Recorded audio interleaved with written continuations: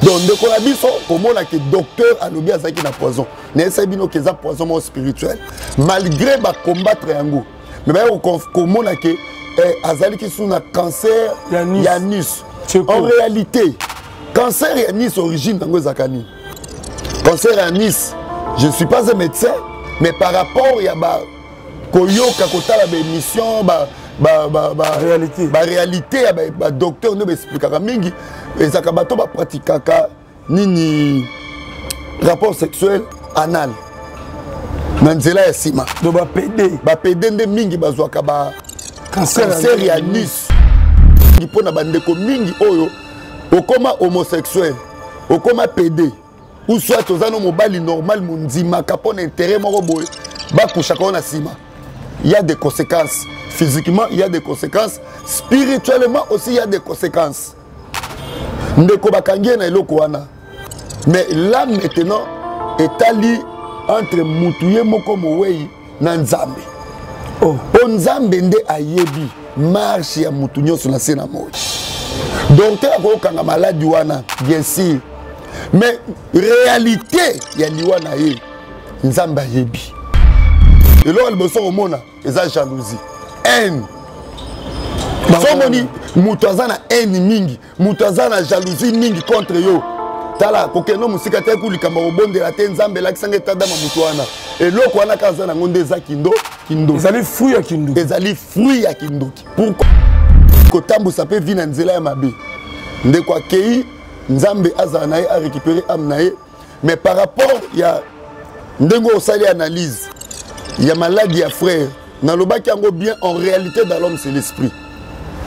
nayamba nazwa occasion ya kosolola na un ancien occultiste un ancien sorcier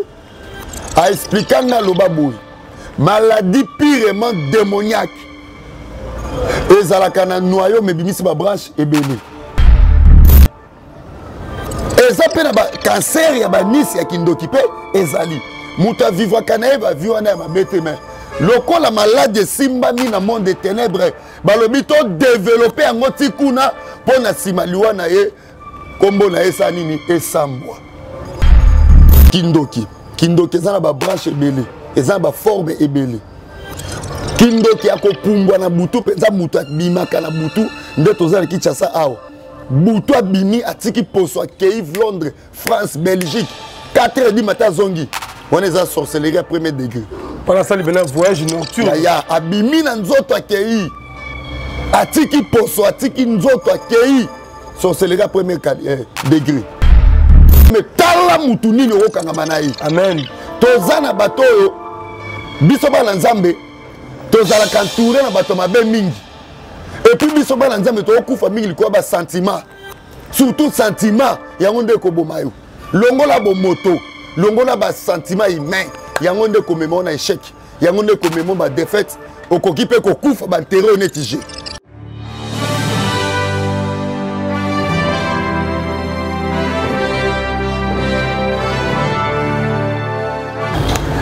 Voilà, merci à tous et à toutes. Euh, bienvenue chez nous, mesdames et messieurs. Nous sommes dans la joie de vous savoir très nombreux en train de nous suivre sur Équilibre Télévision, votre chaîne. Jérémy Louemba, les Rénards du désert est devant vous. Un grand merci à vous tous et clin d'œil spécial à tous nos abonnés. ya Luison Mbala de Madrid, le célèbre Die Nzundu na Washington, le boss Chicha Chimbu na Turquie, le vieux Gérard Saddam na Manchester, ainsi que celui qu'on appelle le vieux Bobo Batombo ya Mama Lami Bekantoy na Londres. Nous voici avec l'homme de Dieu,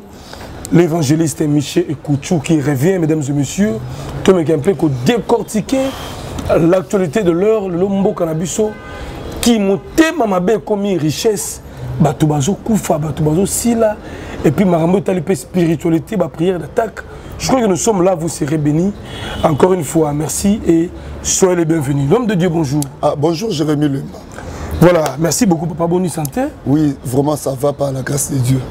Tout démarrer le leçon papa. Kolo pambola émission lelo pambola bande ko nyoso ba kolanda biso de près même de loin na mboka na biso pe à l'étranger. Na sengi molimo na Nzambe loba kati na biso po o nyoso to kobimisa awa ezongisa lokumu epai na Nzambe. Na sengi émission lelo emema un plus na via bana Nzambe. baoyo bayaka kopointe na ndenge ya mabe kokoma te négativement seigneur baza mosika na biso nasengi saint esprit stimule baoyo bakourageaka bato na bolamu batelema mpo bapwiye biso na nkombo ya jésus christ amen amen voilà merci beaucoup l'homme de dieu évangéliste monsieur kuchu ouais, Jérémy. boni mosala ya nzambe oui mosala ezoke kitoko tozokoevre toujours na kati na église et puis toza mpe na branche na biso ya, ya baprière en ligne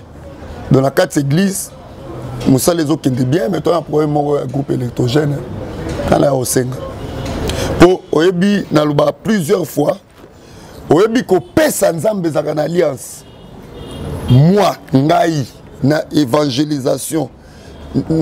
esika nyonso nzambe amema nga namoni esika moko te moto apesi nzambe lobo moko opesaki mpo na kokombatre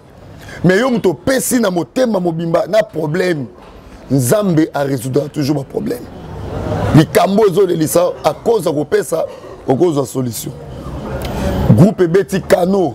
toyei na groupe ya essence par rapport ya charge église il faut tozwa groupe ya, ya, ya moyenne ya charge actuelle mpo babiloko ebele tobakisi la bible dit celui qui demande reçoit nasengi ndeko nyonso akosombela nzambe groupe électrogène vous pouvez toujours m'appeler omoni ntango oseme makelela groupe énergie électrique oyo ezopesa na fonctionnement œuvre ya nzambe éclairage ya, ya mosala ya nzambe vous serez éclairé dans, dans vos vies dans tous les domaines moi ngai évangéliste michel a répété sala alliance na nzambe soutenir biso côté wana vraiment nzambe opambolo église ekende bien apart kaka eloko wana ya groupe baprière d'attaque mpe ezali hmm. yango nasenga bana nzambe ebele mpo omoni okoke omoni baémission baserviteur de dieu ebele bayaka basuki na baanalyse me ngai naomema bino na prière donc mpo obénéficie prière d'attaque o s'abonner na compte youtube na yango tape évangéliste ekuchu tv o s'abonner o activer cloche ya notification chaque 11 heures prière chaque 5 heures prière chaque 22 heures heure de kinshasa prière nga moko naomema prière wana bato oyo bazoya bazosentir ebele bapambwami soki bozo prier ebele ebele pourquoi mais il faut beaucoup prier la bible dit natie verset d'appui ya prière d'attaque psaume 55 verset 17 david alobi nakobondela nzambe nakomikitisa mpe noluka elongi na nzambe na ntongo na midi mpe na pokwa aboucle journée parce que bato ya molili mpe batravayaka bongo matin batravaille na midi batravaille na soir mpe batravaille monde ya ténèbre efonctionnaka sans cesse yo olembaka na prière me moto akombatako alembaka te yango ifo yo mpo telema na prière mpo prière nde kosala barrière moye bandoki bakɔta na vie na yo misala mabe ekɔta eza te liwa moye ekɔta eza te à travers baprière ataki yango naobenga bino bosabone na compte na nga ya youtube évangéliste ekutu tv nga moko lomema bino baforte prière ya combat spirituel okoarrache mpe nzambe na nga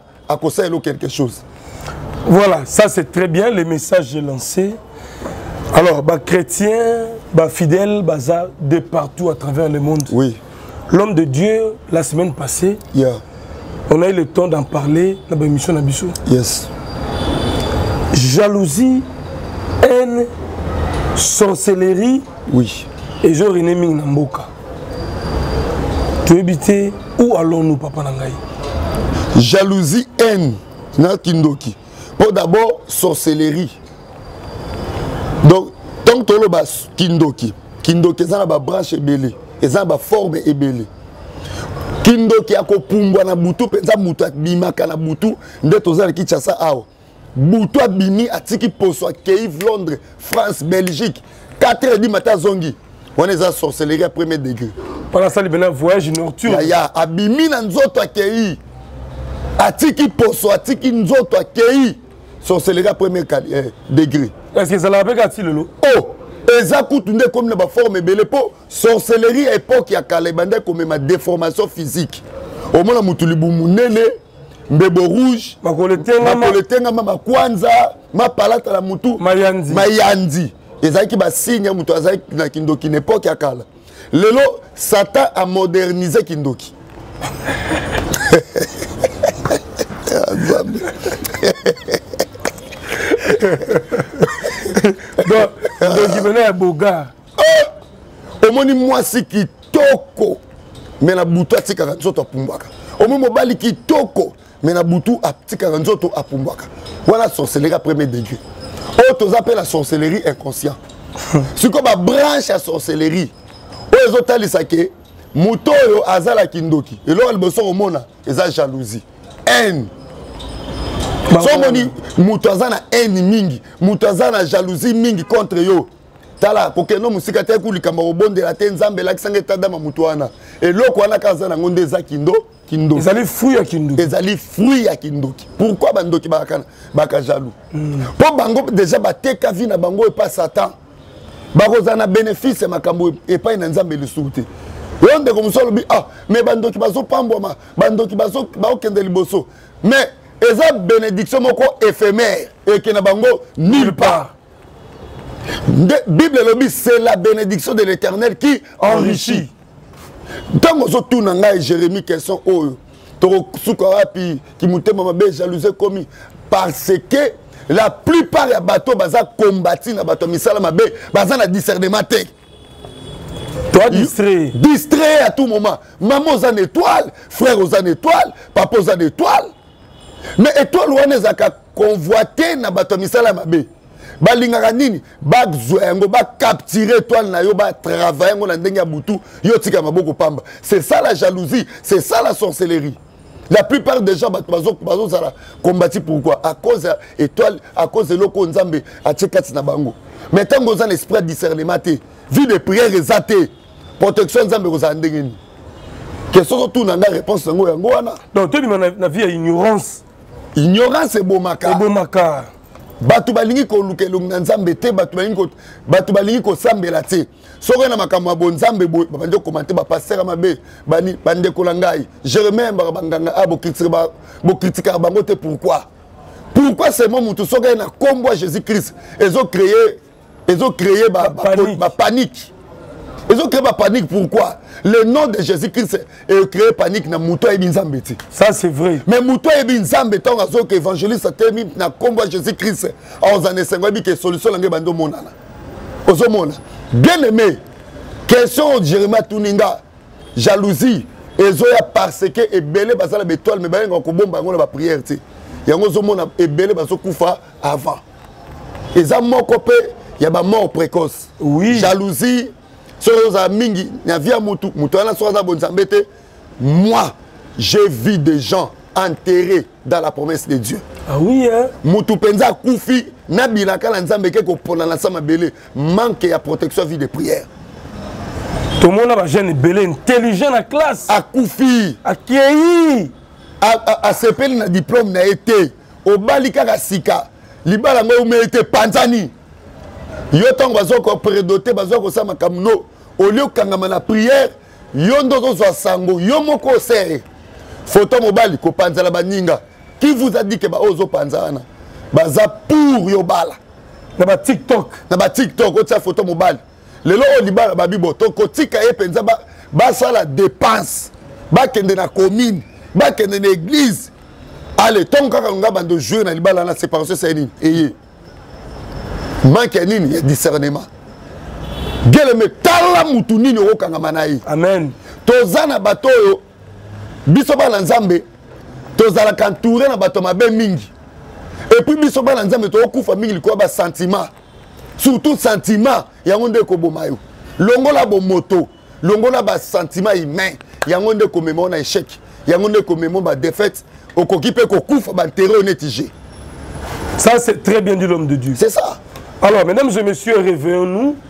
tolamuka na pongi tolamuka na distraction tolamuka na ignorance tolamuka na baaventure To telema parce que on ne vit qu'une seule fois. Ouais. La vie humaine est sacrée. To bomba bomba na biso to luka Nzambe, tout homme est faillible, c'est vrai. Mais to kangama na Yesu. Biso moko to kokate mais avec la prière tout peut changer. Effectivement. Alors l'homme de Dieu est avec nous. L'autre photo, peut-être le solo, il y a Liwa Tcheko, un jeune comédien talentueux, un visionnaire ayaki na groupe na ye lo akufi atiki baacteur na ye famille eperdre ye ndeko na ngai ivipane oui. asala émission na docteur mogijo oyo azali kosunga ndeko cheko pendant longtemps na bakisi ya poison docteur alobi ke cheko azalaki réellement na poison mais babundisi poison wana bapesi bakisi bantibiotique titititititi baneutralize poison basali mpe ndeko opération babimisi ye tio pembeni mpo asalaka basele na ye etout mais bayaki soki kodécouvrir na corps ya tieko cancer l'homme de dieu hmm. kaka libumongo moko ya tieko poison cancer epuis apoli na se nde balobaka na nice apoli na se bio ozoloba ozolakisa mpe na basigne mais apoli na se kutu bandeko mingi ya théâtre bakomosala polémique bamoloba o oh non seke azalaki pede vie ya nsima mpe epolisaka na se papa tala comment eske bajeune bazotambola eza cancer ya nice ndenge ndeko nanga ive aprécise donc baya kodécouvrir lisusu cancer ya nice epai ya tcheko nayebi te spirituellement parlant tala ndenge jeunesse ndenge baacteur bakotambola okoki oloba nini papa makambo situation jérémie etouche nga makasi mpe d'abord à son âme Mm. parce que aza oyo tozolobela eza likambo ya moto esi akei mais tozolobela yango mpe plus na bandeko oyo peut-être bakoki komema bavi na bango en dehors ya bonzambe oyo bakoki kotambwisa mpe vi na nzela ya mabe ndeko akei nzambe azala na ye arécupere ame na ye mais par rapport ya ndenge oyo osali analyse ya maladi ya frère nalobaki yango bien en réalité dans l'homme c'est l'esprit nayamba nazwa occasion ya kosolola na un ancien occultiste un ancien sorcier aexplika nga aloba boye maladie purement démoniaque ezalaka na noyau mebimisi babranche ebele maladie ya kindoki ezali kanser ya kindoki ezali poison ya kindoki ezali sida kindoki ezali prostate kindoki ezali prostate kindoki ezali ozalaka na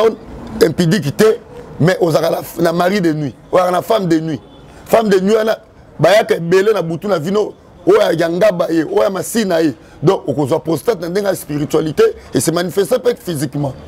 donc ndeko na biso komona ke docteur alobi azalaki na poison nayesai bino ke eza poison moko spirituel malgré bacombattre yango me baya komona ke eh, azalaki su na cancer ya nis en réalité cancer ya nice origine nango ezalaka nini cancer ya nice je ne suis pas un médecin mais par rapport ya ba koyoka kotala baémission baréalité ya badocteur nde baexplikaka mingi ezalaka bato bapratikaka nini rapport sexuel anal na nzela ya nsima bapede nde mingi bazwaka ba cancer ya nus ozo comprendre mais mutu normal boye je ne crois pas ke akoki kozwa cancer ya nus eza bakamo rare eza bakamo ko rare eza baka rare nalingi kotouche point oyo mingi mpo na bandeko mingi oyo okoma homosexuel okoma pede ou soit oza no mobali normal mondimaka mpo na intérêt moko boye bakushaka yo na nsima ya des conséquences physiquement il y a des conséquences spirituellement aussi il y a des conséquences ndeko bakangi ye na eloko wana mais là maintenant etali entre mutu ye moko mowei na nzambe oh. po nzambe nde ayebi marche ya mutu nyonso na se na moi docteur akokanga maladi wana bien sûr mais réalité ya liwa na ye nzambe ayebi nzambe nde ayebi parce que so tosali baanalyse sur le plan physique tokotrouve baindice ya marche ya mabe mais tokeba diable mpe amodernisa bamaladi mysterieux na bavie ya bato ozalaka na yo na vie ya mabe te me babwakeli yo sida kindoki ozalaka empidiki te me ozwi sida kindoki ndenge nini mm. jalousie eza na bakanser mpe ya kindoki ezali eza mpe na bakanser ya banisi ya kindoki mpe ezali moto avivaka na ye bavi wana ya mabe te mai lokola maladi esimbami na monde de ténèbre balobi todevelope yango ti kuna mpo na nsima liwa na ye nkombo na ye esa nini esambwa etaki un homme de dieu hmm. makambo na oloba eza réalité ça c'est vrai donc lelo ndeko tsheko akufi confusion totale bato bakozala confondu parce que eza biloko ya molili oyebi eloko ténèbre esambwisaka bana na nzambe okoki kozala na eloko wana te bandoki bakopesa identité eloko bakopesa identité oyo ozalaka na yango te elati yo elati yo mpe bapropage yango ebimi mpe ya solo me oko eza lokuta bakoki kolati so maladi moko esambwi so do okufi osambwe ebembe esambwe ebembe oyoki soni e azalaka nde boye en réalité ozalaka bongo te lokola eloko esimbami na maboko ya molili bakenda bandako ya nganga batrava biye to frappe na eloko na nsima liwa na ebembe nayoka soni ténèbre et moderniser façon ya kotravaille yango bana nzambe mpe bino mpe fo bointensifie prière ça on n'a pas de choix bointensifie prière matisa prière docteur yakoki koloba cancer ya miso est ce que notre frère tcheko tcheko paix à son âme est ce que ntango azalaki vivant esi atambwisaki vi na ye koma toboyi te tolobaka mpo na ye azalaki na malamu azalaki mpe na mabe moto nyonso aza na mabe moto nyonso mpe aza na malamu baerreur ezangaka te meme nga mpe évangéliste meme yo mpe moto nyonso akozanga baerreur te baqualité mpe ezali mais notre frère bamaladi wana bendisi ezobima mais eloko eza biloko moko ya molili bokende yango physiquement te est ce que bamama na baoloba wana basambelaka bamama théâtre oyo bazokoba komi na confusion nani kati na bango alukaka elongi na nzambe nani kati na bango atambola na crainte ya nzambe mpo ake eloba ke wana azalaka pede eh, mpo ekomi marie jeanne bolole bitumba bamama wana banyonso wana eske basambelaka eske bayebi nzambe bavi na bango nono wana eske eloko nini bamama na oyo banani oyo otangi bakombo wana mm. bakoloba na bato mpe monde bandimi tandis que bango moko vie baza yango eza mabe liboso na nzambe oh, baactrice na biso yo mais baactrice il faut koteya bango batika vie ya mabe oh but na kati na kati ya théâtre kindoki evandi jalousie evandi na kati ya théâtre kisi evandi makasi na kisi wana sikoyo batinda bango bapesa bango kaka action moko eza impudicité oh kindumba eza makasi na kati ya monde wana kindumba eza makasi artiste moko nakoyambe dimanche akoya na église alandaki nga alobi naza touche na makambo oti koloba na émission na makambo ya liwa ndeko na biso akoya dimanche na église nani wana na otanga nkombo nete fona garde aloba ye mpe alingaki kotubela no azoya mpo nabondela mpo na ye mm. nakotanga nkombo te mpo na respect na ye mm. mais atraverka na groupe ya, ya, ya, ya ladi esobe mm. alingi asauve ame na ye mais il y a des gens azotravaille mais aza vide mais baoyo basala bamakambo bakisi bakipede nde baozwa makambo baozwa barole mais baoyo baza vide baozwa eloko te mm. mais tala Je vous dis la vérité. La Bible dit, Dieu a réservé les biens des méchants pour ses enfants. bato wana tozomona ata peda asomba lopango asomba nini eza ya bana na nzambe moto alengisa yo te ke pour eh, souffrance eza synonyme ya bana na nzambe eza lokuta jésus christ est vivant il est pour, il est pour nous tous à condition yo accepte ye réellement na motema na yo sans doute omwa barésultat ah. barésultat ekozala l'homme de dieu donc ndeko na biso batika kolobaloba ni n'importe quoi moto esi akufi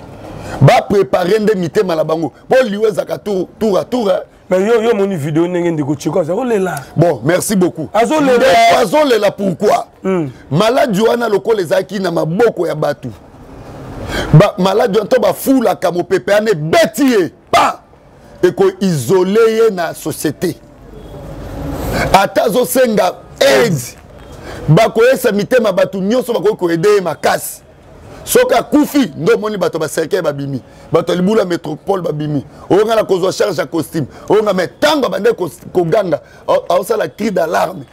nani oyo atelemaki ndeko asouffrir eloko ya molili ememaka motu bongo mais faut baisole yo ata toyebanaki na ye eh. bakoisole ah, tika oloba bongo mm. ntango akufi osusuki oh mais asengaka nga mpe oh mais mpo ani nasali boye moto akomi regrete eza fula oyo tobengaka vutima mm. so oza na maladi ya kindoki bieleme ebenga na bondela mpo na c'est ça soki oza na fula ya kindoki benga na prie mpo na yo eza makambo ya butu bato ebele lelo eh, plutôt nani eh, jérémie lwemba bazosouffrir à cause ya misala esalemaka na butu butu ezalaka mystère yango nayesa bana nzambe kolalaka te saki oprie mm. parce que na butu okoki kolala riche na ntongo olamuki pauvre eh. olali en bonne santé na ntongo olamuki malade parce que butu eza mystère ntango moto azolala ténèbre ezofonctionne bible elobi yango très bien nzambe apesaka biso mapa pendant sommeil na biso ntango toza na pongi na psaume 127 verset 2 ntango bana na ye balali azwa kopesa mapa mais mapa oyo nzambe apesa yango pendant la nuit nani aliaka yango yango benediction ntongo ekitaka na nuit nani aliaka yango matthieu chapitre 6 verset 11 bible elobi donne nous notre paix quotidienne benediction na biso nzambe apesaka biso chaque jour mais ebele na bana na nzambe azalaki bien na butu na, alali na butu na ntongo alamuki malade na ntongo alamuki pauvre olalaki riche olamuki na baproblème olalaki na yo na kimia olamuki motema mabe olamuki makambo ebebi parce que makambo wana esalemaka mingi na butu na butu nde bayaka kobwaka maladi na butu nde bayaka kochange bavie ya bana na nzambe bayibaka donc jean 10 10 efonctionnaka mingi na butu ekamwisanga soki oza na vie de prière te meme ndeko azolela oyo auti kotika biso lokola eza makambo ya butu yango na moi moye azwa résultat eza te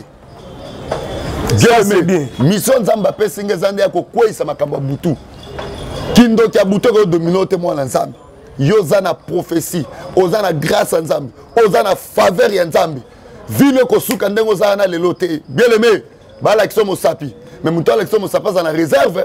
mpo lobi eza ya nzambe lelo eza ya bango me lobi eza ya nani ya nzambe nzambe apambola bino Merci beaucoup l'homme de Dieu, c'était vraiment très capital ces messages. Oui. J'imagine ceux qui Sierra Mboa Zaki, Nazara Nakalama, et le Bakino, tu es quoi, on sait quoi dans trois jours. Te, bango, bango, bango, bango, na mingi ko sakana ko manzambi. Bande ko yana nyoso. Bible lobi. Trop de prophéties. Fin, souka na bango, ekozala humilie bakozala humilie on peut pas blaguer avec le nom de jésus christ so moto akufi akufi so moto akufi yebisa moto nini basekwa basekwisa awa mosusu alobaka kosekwisa mama na biso shako asekwisa ye aye kocharge langage pourkui oyo olobi awa mm. basekwisa nani batika kosakana nkombo ya nzambe ebele jérémi nazoloba baosa mosala nzambe na congo oyo mpo na mpasi ya rdc so mpe na rdc ekomi ata lokola baafrique du sud nde nauti afrique du sud nazongi boye ebele bakotika baeglize ebele nayebisaki yo ti mm. kaka nde nake afrique du sud apamba na johannesburg si serviteur de dieu bayebisi nga bwaka ngunda kima akoya lisusu congo te oh. eh, voilà tala eh, niveau, niveau ya baserviteur de dieu na supprime bango na bloke bloke bango na ba whatsapp na nga ti lola en tout cas voilà. voilà la lutte continue nous sommes ensemble pour de vrais maître siza sukama puissance à mikili pasteur doris na allemagne pasteur olivier tabala na london city et pourquoi pas na bandeko tout bishop euh, euh, baotala biso baévangéliste baotala biso ya luzombala na madrid abengaki ngai ya luzombala de madrid alobi euh, nabengi yo parce que natunaki jérémie mpo na prière d'attaque voilà un homme comme ya luison mbala de madrid, de madrid. moto ayebani na madrid na espagne alobi biso kaka jésus christ choix eza te choix eza te na bafamille na biso afrique ya kindoki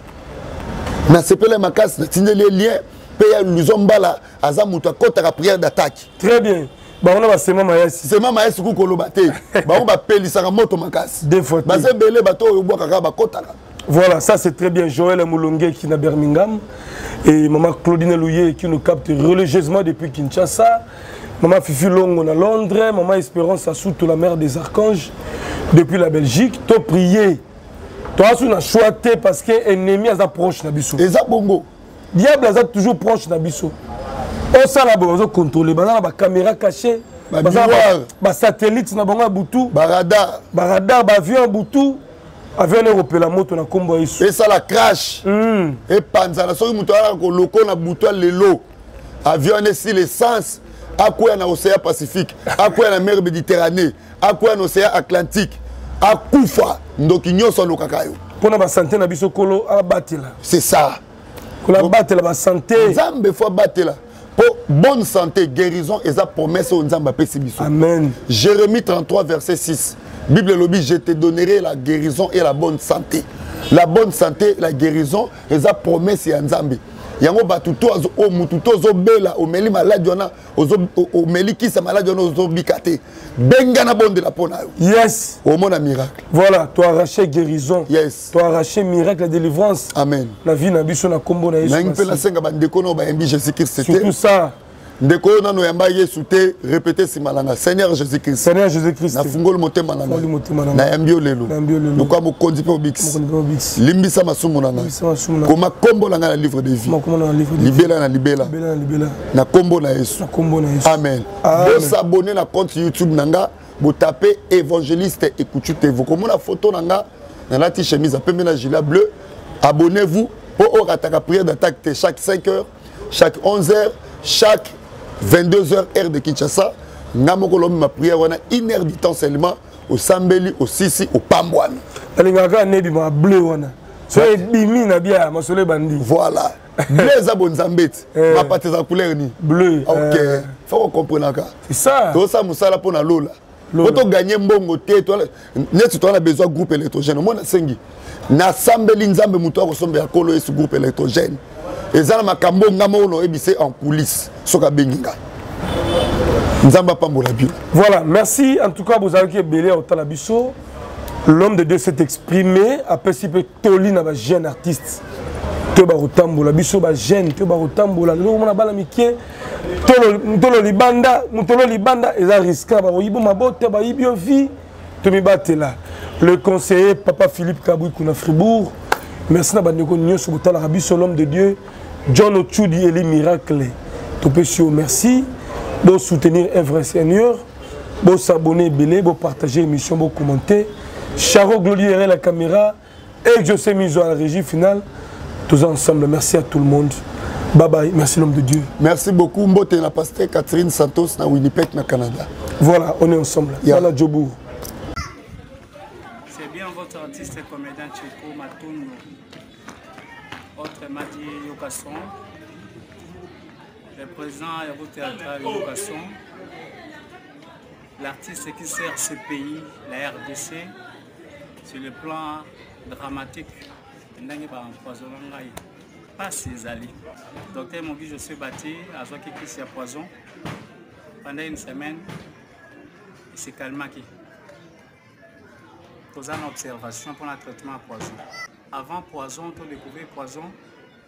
ecreaka nga deja ba,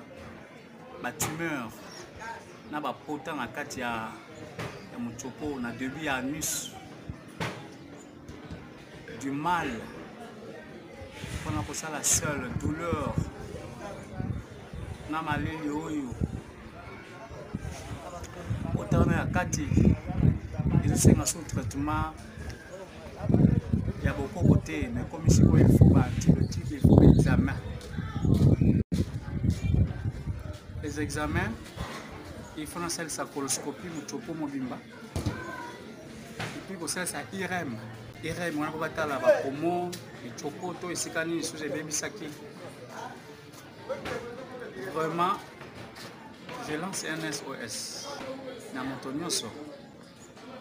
akoki kozala touche epai ya nzambe po votre artiste e malade